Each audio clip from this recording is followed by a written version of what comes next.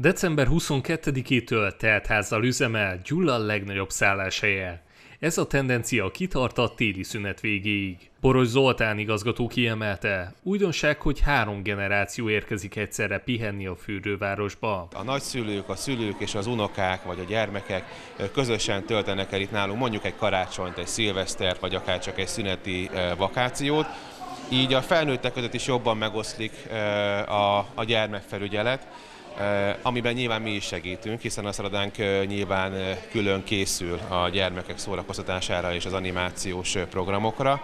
A szülők pedig így talán egy kicsit többet tudnak pihenni, akár a nagyszülők, akár a szülők, tehát bármelyik pár, és úgy, mint annak idején otthon, a családi házakban, úgy most itt tudnak együtt történni több generációval sok időt, és mivel mi levesszük a terheket a vállukról, úgy, mint a főzés, takarítás, így valóban egymásra koncentrálhatnak, ami ebben az időszakban szerintem a legfontosabb. Boros Zoltán kiemelte, 2023 a változások éve volt, és végül a sikerek éve lett. A tavalyi esztendőt egy épület szárnyal kezdték, és a nyári főszezonra sikerült átadni a felújított, immár négy csillagos munkácsi szárnyat. Ezzel a Hunges Gyula Magyarország egyik legnagyobb vidéki wellness szállodájává vált. A vendégkör azóta megváltozott, elsősorban a családok kedvencei lettek. Az új szányt kifejezetten ennek a piaci szegmensnek készítették, nekik újították fel a munkácsit. Boros Zoltán hangsúlyozta, a szálloda történelmének legsikeresebb évét tudhatja maga mögött. Ez azt jelenti, hogy vendég számban több mint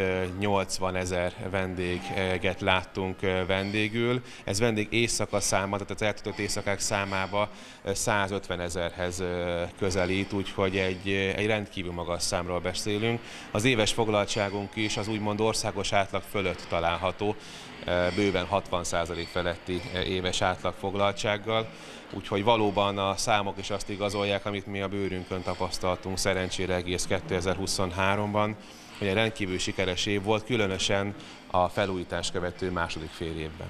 Boros Zoltán kiemelte, még mindig a hazai vendégkör dominál. Országosan megfigyelhető, hogy a koronavírus járvány utáni időszakban egyre inkább megjelenik a külföldi küldőpiac. Ennek köszönhetően ismét nőtt a romániai vendégek száma a gyulai szálláshelyen is. Az igazgató kiemelte, 2024-től a tavalyihoz hasonló sikereket vár. Az idei az első olyan év az elmúlt 5-6 esztendő alatt, amikor nem terveznek nagy volumenű felújítást, vagy tervezett probléma elhárítását.